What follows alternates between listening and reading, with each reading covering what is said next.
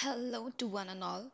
Today in this video we'll study about pivot transformation in mapping data flow activity of Azure Data Factory.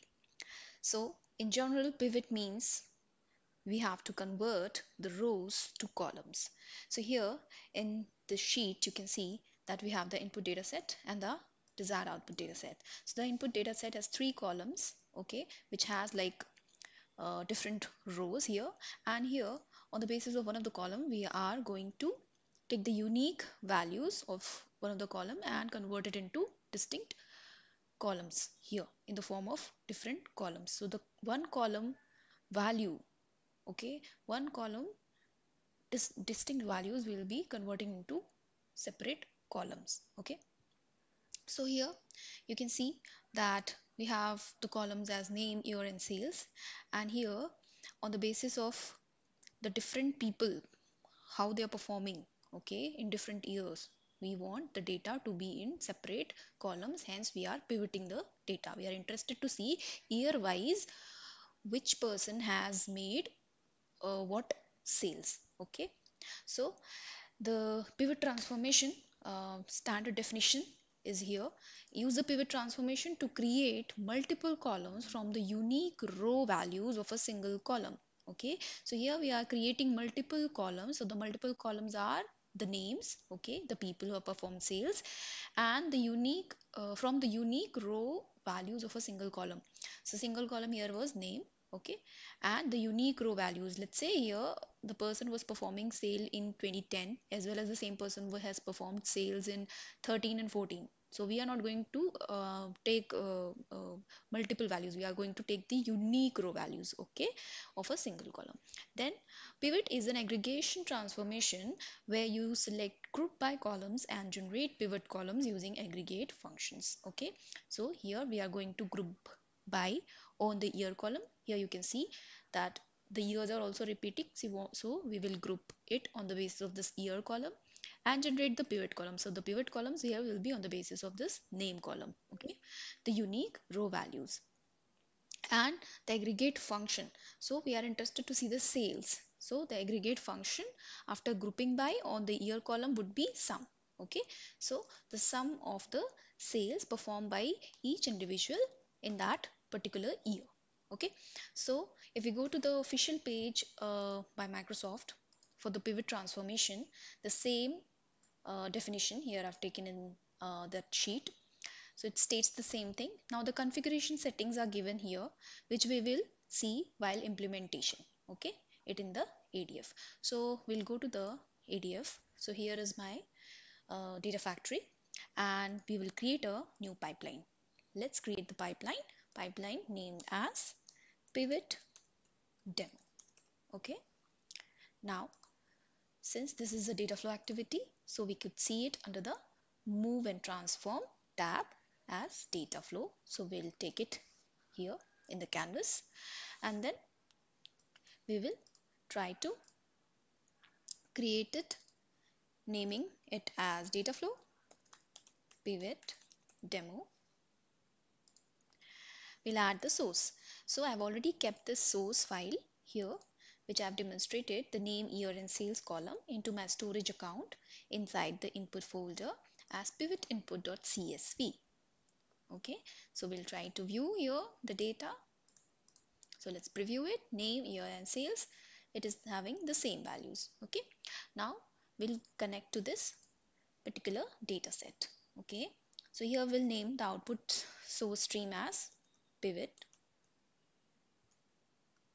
input let be and then the data set. And our data set is present inside the container inside the input folder as pivot input.csv so we'll try to connect. So let's click on data set azure data lake gen 2 storage account. Since it's a csv so it will be csv delimited text click here. Then click continue. Let's name it as pivot input link service is already there for that storage gen2 account. So we'll select the link service. We'll browse to that file location. So it was inside the input folder and pivot input.csv click ok. So our csv is having header like this is the the first row is having header. So we'll click this option check. Okay? So check this first row as header option and import schema none. Then we will click ok. Okay now we'll go to the data preview option and see the data. Since the data flow debug option is already enabled here and the cluster at the backend is ready we could see the data. So here now you can see the data name year and sales. Okay next our job is to convert this rows into columns using the pivot transformation. So we click on the plus sign and search for the pivot which comes under the schema modif modifier section. So click on pivot and we'll write it as pivot demo and the input stream is already there. Next comes uh, the pivot settings which is having three important sections like the group by tab, pivot key tab and the pivot columns. So we'll go to the documentation page and we'll try to see what's written in the official page about these settings. Okay? So we'll go here in the configuration and the first tab was group by so here it says select which columns to aggregate the pivoted columns over. The output data will group all rows with the same group by values into one row okay? The aggregation done in the pivoted column will occur over each group. Okay? So here in our case we are grouping by you can see the data on the basis of the year column. Okay? So 10 12 13 14 15 we have different year. Okay? So in our case it will be year. Okay? Aggregate the pivoted columns over on which column okay? So here so in our case the group by column should be selected from the drop down as year here we cannot see the results. I mean the drop down is not showing up the columns which we have coming from the in, incoming stream. So we'll go back to the incoming stream the source stream and we'll see that in the projection tab we are not we have not imported the projection. So we'll import the projection. So it's getting imported it will display in some time here. So here we can see the projection imported name year and sales the three columns and their types are defined as string short and short okay? By default in the csv the type is string and by importing the projection it is giving us option to select the type. So here in our case year should be integer and sales should be integer 2 okay so we have specified here the data type. Now if we go back to the transformation and we go to go to the group by and now try to see the drop down here we can see the incoming columns. So here we are grouping by on the year column. So we have selected year. Next comes the pivot key tab. So we'll go back to the pivot transformation page official page and we'll see the pivot key. So the pivot key should be selected or it is the column whose row values get pivoted into new columns. So in our case, the row values which are going to convert into uh, new columns is this name column. Okay, this is what we are going to convert to new columns. Okay, by default, the pivot transformation will create a new column for each row value. Okay, so in our case, we have we know which column we have to select. So we will select the pivot key column as this names column okay? So we have selected the name as pivot key. Next is the value.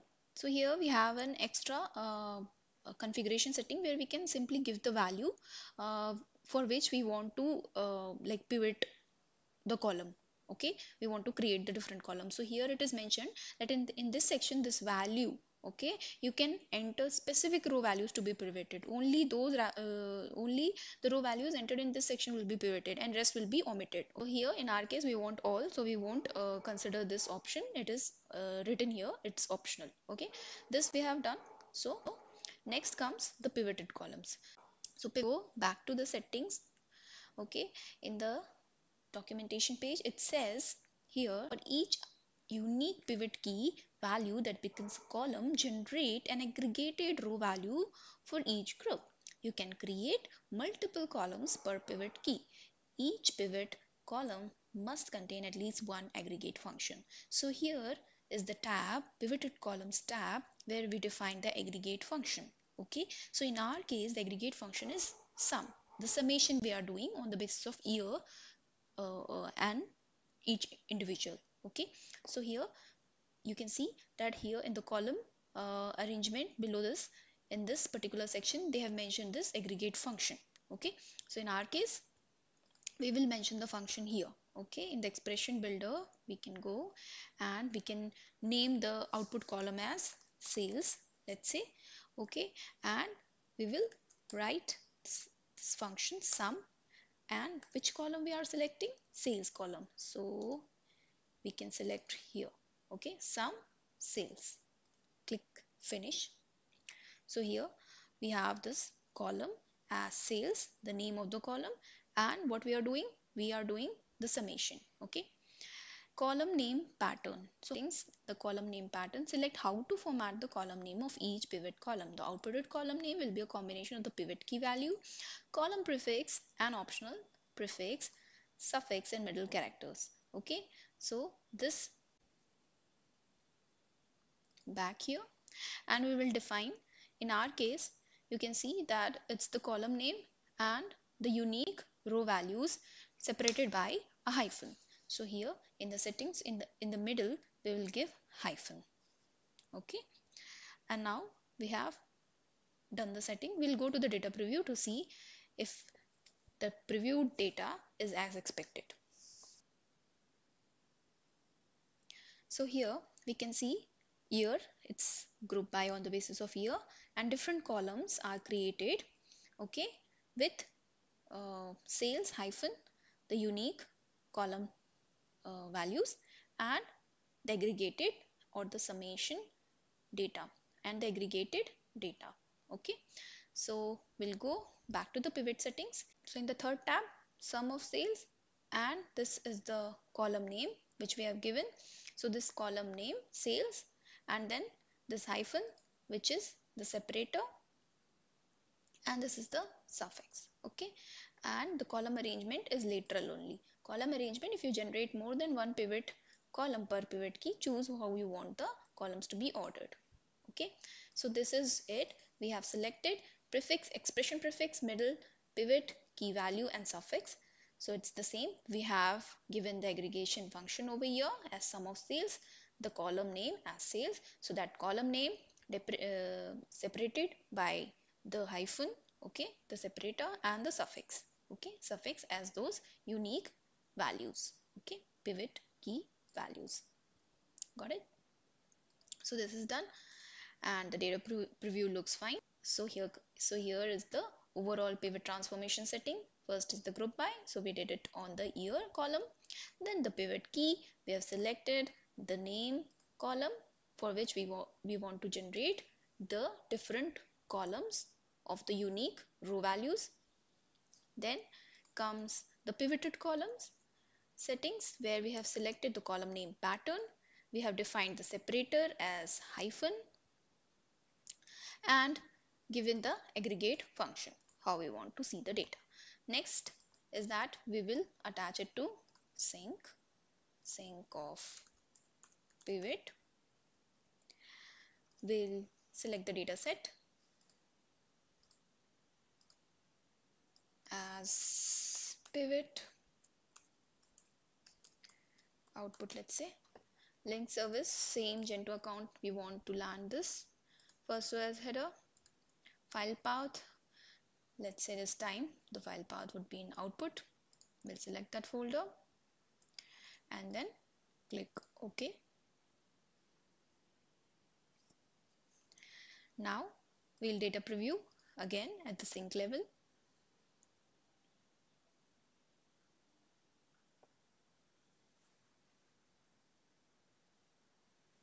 So this looks fine.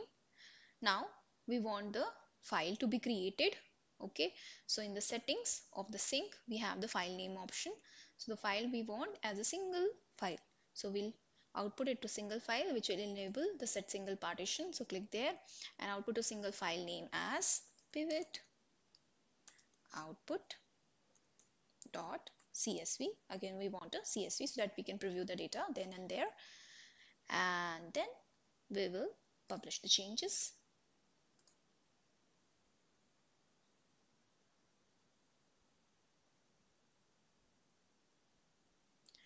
And we can now perform a debug run or a trigger run.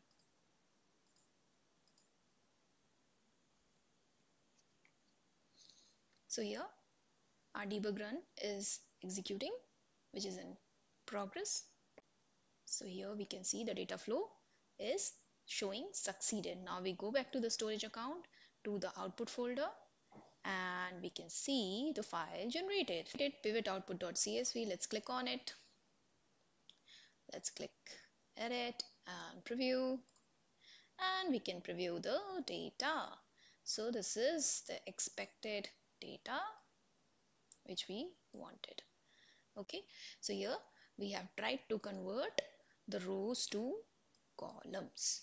Okay, so this is a very quick and short demo on the basic implementation of the pivot logic in ADF mapping data flow activity. Thank you for watching the video. If you have any queries or doubts, do write to me.